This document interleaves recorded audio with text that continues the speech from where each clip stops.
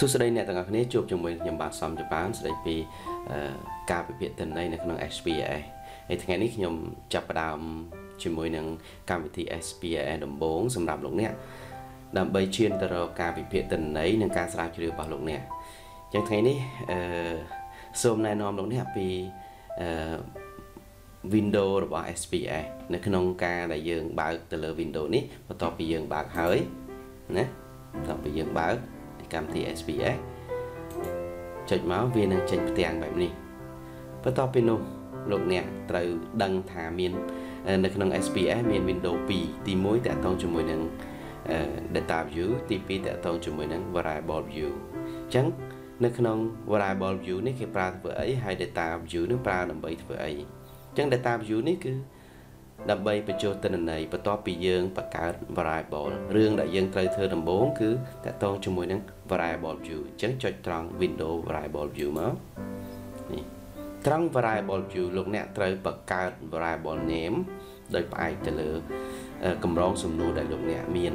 អញ្ចឹងនៅក្នុងការសិក្សាស្រាវជ្រាវលោកអ្នកត្រូវ design កម្រងសំណួរបន្ទាប់ពី design កម្រងសំណួរហើយយើង ត្រូវបង្កើត form ឬក៏បង្កើត variable name ហ្នឹងដើម្បីធ្វើការបញ្ចូលទិន្នន័យនៅក្នុង SPS អញ្ចឹងនៅថ្ងៃនេះលោកអ្នកអាចមើលបានហើយតាក់ទងជាមួយនឹងសំណួរនេះខ្ញុំលើកយកសំណួរដែលយើងបានសិក្សាស្រាវជ្រាវតាក់ទងជាមួយនឹង information of respondent មានន័យថាសំណួរដែលយើងមាន គឺជាសំណួរដែលយើងបានរៀបចំរួចហើយណាមានសំណួរជាច្រើនណា មាន A មាន B មាន C មាន D មាន A ហ្នឹងសិតតែជាចំនួនដែលមានប្រភេទជាសំណួរទាំងអស់សំណួរនៅក្នុងកម្រិតការសិក្សាស្រាវជ្រាវរបស់លោកអ្នកអញ្ចឹងលោកអ្នកត្រូវមានសំណួរតាមគ្រប់ប្រភេទឬក៏ច្រើនប្រភេទនៃសំណួរហើយ design ខុសៗគ្នាអញ្ចឹងនៅក្នុងមេរៀនដំបូងនេះខ្ញុំសូមជជែកតាក់ទងជាមួយនឹងការបញ្ចូលទិន្នន័យបង្កើត form សម្រាប់ការបញ្ចូលទិន្នន័យនៅក្នុង SPS គឺសំដៅទៅលើការបង្កើត variable ហើយត្រង់ចំណុច Q ទី27នេះមានជា rating scale នេះ multiple rating scale អញ្ចឹងវាមានចំណុចពី1ដល់15តើយើងបង្កើតកម្រងសំណួរយ៉ាងម៉េចដើម្បីបញ្ចូលណា26ក៏ដូចគ្នា income បាទមាន yes no question ឬក៏អីផ្សេងផ្សេង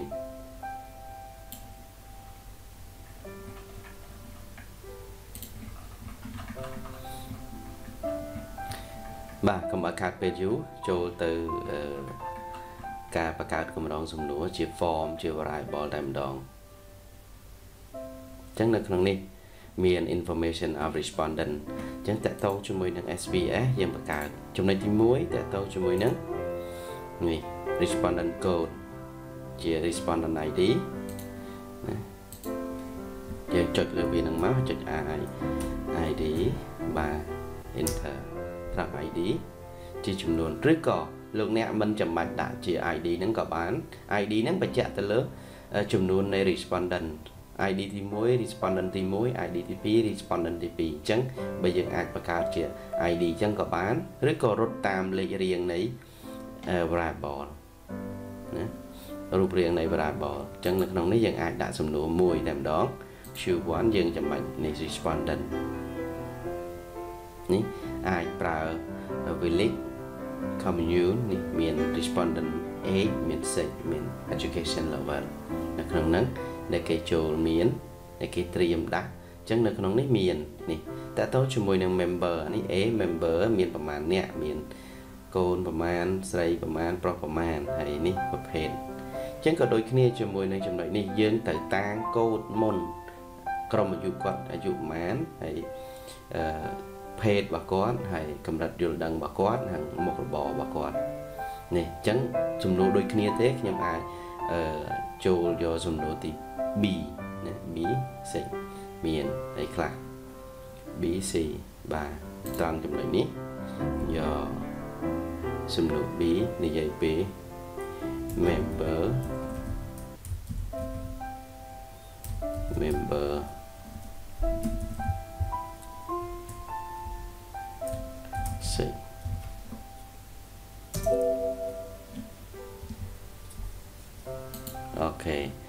សូមបញ្ជាក់លោកអ្នកតកតងជាមួយនឹង variable name ទី1តកតងជាមួយនឹងលក្ខណៈនៃអក្សរដែលយើងដាក់គឺអត់មានដក clear ទី2តកតងជាមួយនឹងការប្រើនិមិត្តសញ្ញាពិសេសពិសេសផ្សេងផ្សេងអញ្ចឹងនៅក្នុងនេះគឺភាគច្រើនគឺប្រើតែអក្សរតែម្ដងអញ្ចឹងអក្សរនោះអក្សរជាប់គ្នាអឺ member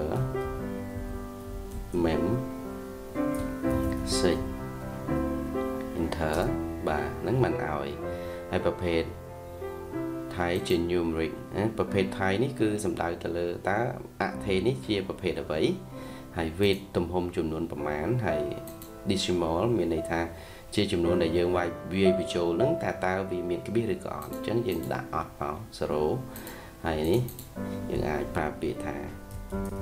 mem mem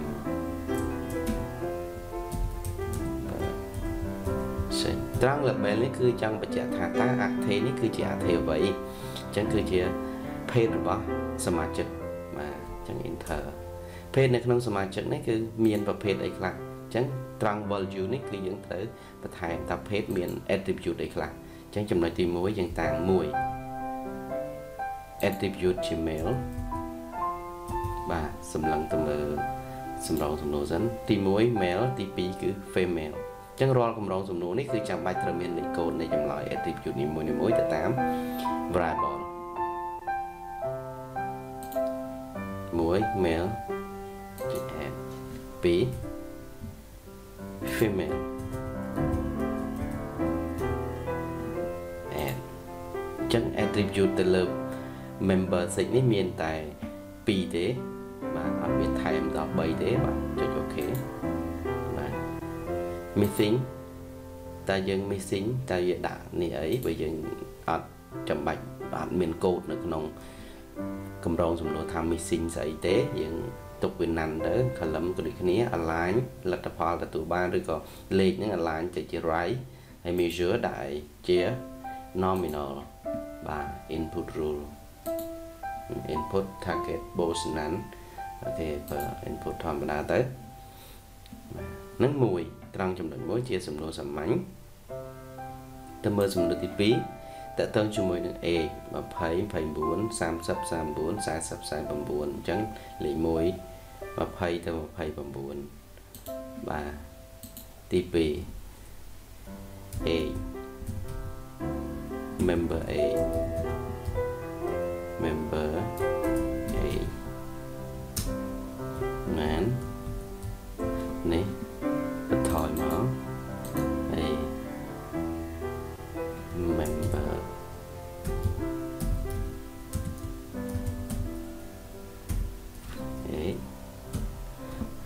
value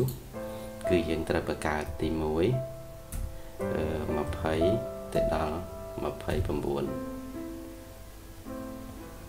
add មក2ស្មើជាមួយនឹង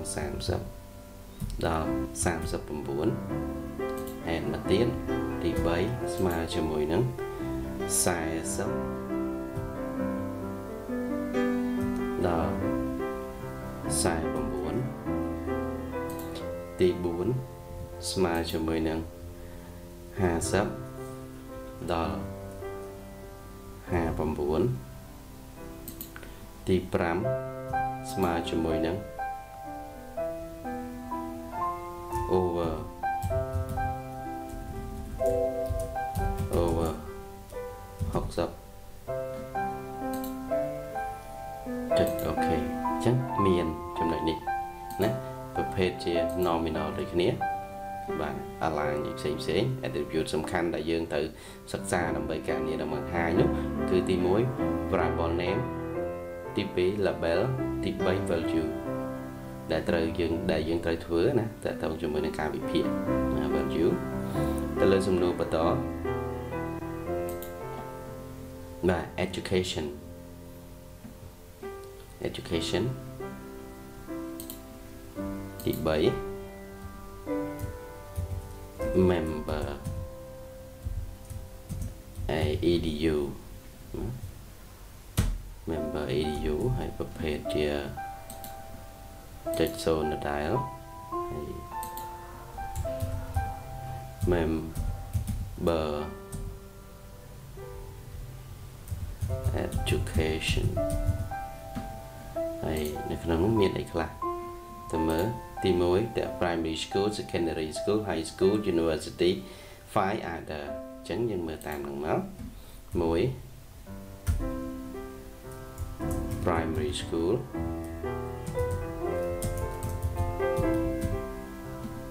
and ទី2 secondary school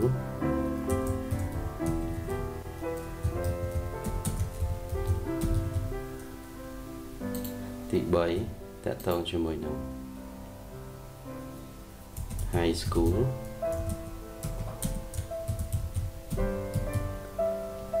ទី4តកតងជាមួយនឹង university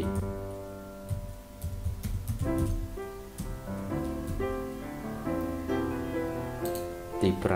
5ចូល other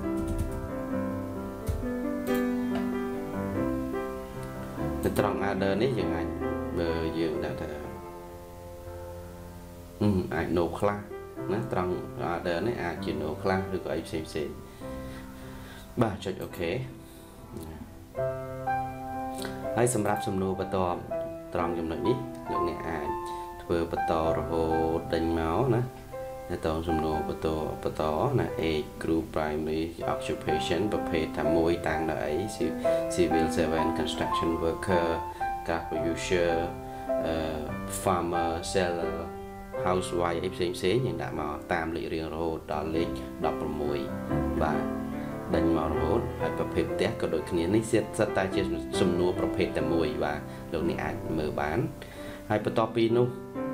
លោកអ្នកចូលទៅក្នុងនេះវិញទៅមើល data view បាទត្រង់ data view ទៅលើអត្ថដែលយើងបានបង្កើតនេះ3 1 2 3ណាអញ្ចឹងត្រង់សំណួរ1 2 3យើងអាចវាបញ្ចូលទៅលើតន័យត្រង់ data view នេះ មានន័យថារាល់កម្រងសំណួរដែលយើងបានប្រមូលមកគឺវាមានបានការជ្រើសរើស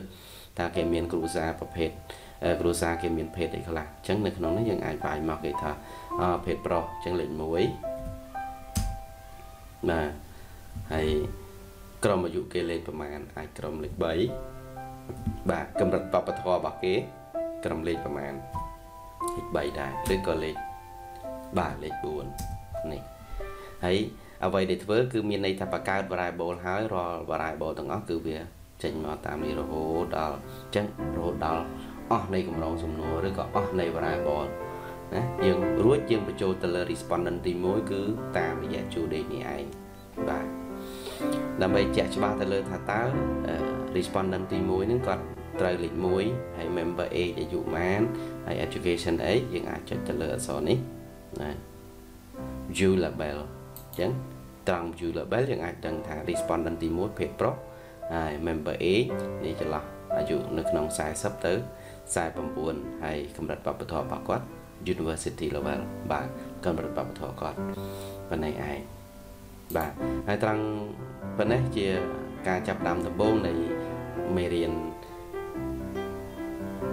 SPS ដូច្នេះលោកអ្នក